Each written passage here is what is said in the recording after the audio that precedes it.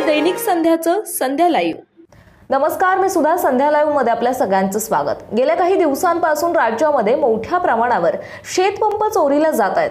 यामुळे शेतकऱ्यांचे आर्थिक नुकसान होत आहे. असं असताना आता यवत पोलिसांनी चोरांना अटक केली आहे. तालुक्यामध्ये अनेक ठिकाणी शेतीपंप चोरीच्या घटनांमध्ये वाढ होत असतानाच पोलिसांनी यवत परिसरातून शेतीपंप चोरी करणारी टोळीच्या मुसक्या आवळल्यात दरम्यान गेल्या काही दिवसांपासून पारगाव आणि परिसरातून शेतीपंप चोरी होत असल्याच्या घटना घडत होत्या. यामुळे शेतकऱ्यांच्या अनेक तक्रारी येत होत्या. याबाबत तपास चालू असताना पोलीस हवालदार निलेश कदम गुरुनाथ गायकवाड अक्षय यादव मारुती बाराते यांना माहिती मिळता क्षणी चक्रे फिरवली. यानंतर आरोपींना मुद्देमालासहित ताब्यात घेतलं. यामुळे आता त्यांच्याकडून चौकशी केली जातीये. या चोरट्यांकडून शेतीपंप चोरी केल्यानंतर त्यामधील तांब्याची तार काढून विक्री केली जाते. यामध्ये शेतकऱ्यांचे मोठ्या प्रमाणावर नुकसान होत आहे. एका शेतीपंप चोरीमुळे चोरट्यांना अंदाजे तीन ते चार हजार रुपयांमध्ये कॉपर विक्रीतून मिळू शकते. यामुळे याचा शेतकऱ्यांना मोठा आर्थिक फटका बसत होता. यामुळे आरोपींना अटक करण्याची मागणी शेतकऱ्यांकडून केली जात होती.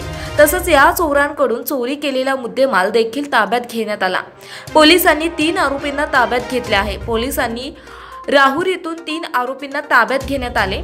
त्यांनी गुन्ह्याची कबुलीही दिली. यामध्ये मामा उर्फ मुक्तार गफूर देशमुख विशाल अर्जुन काशीत अभिषेक गोरख मोरे सर्व राहणार राहुरी जिल्हा अहमदनगर अशी नावे आहेत.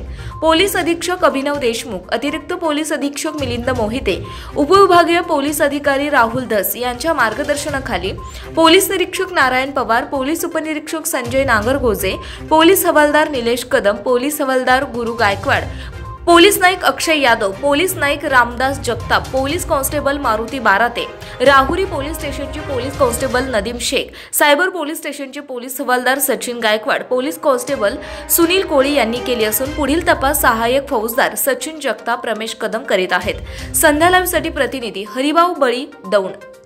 ताज्या आणि महत्त्वपूर्ण बातम्या पाहण्यासाठी आजच आमच्या संध्या लाईव्ह न्यूज चॅनलला सबस्क्राईब करा आणि बेल आयकॉनला प्रेस करा.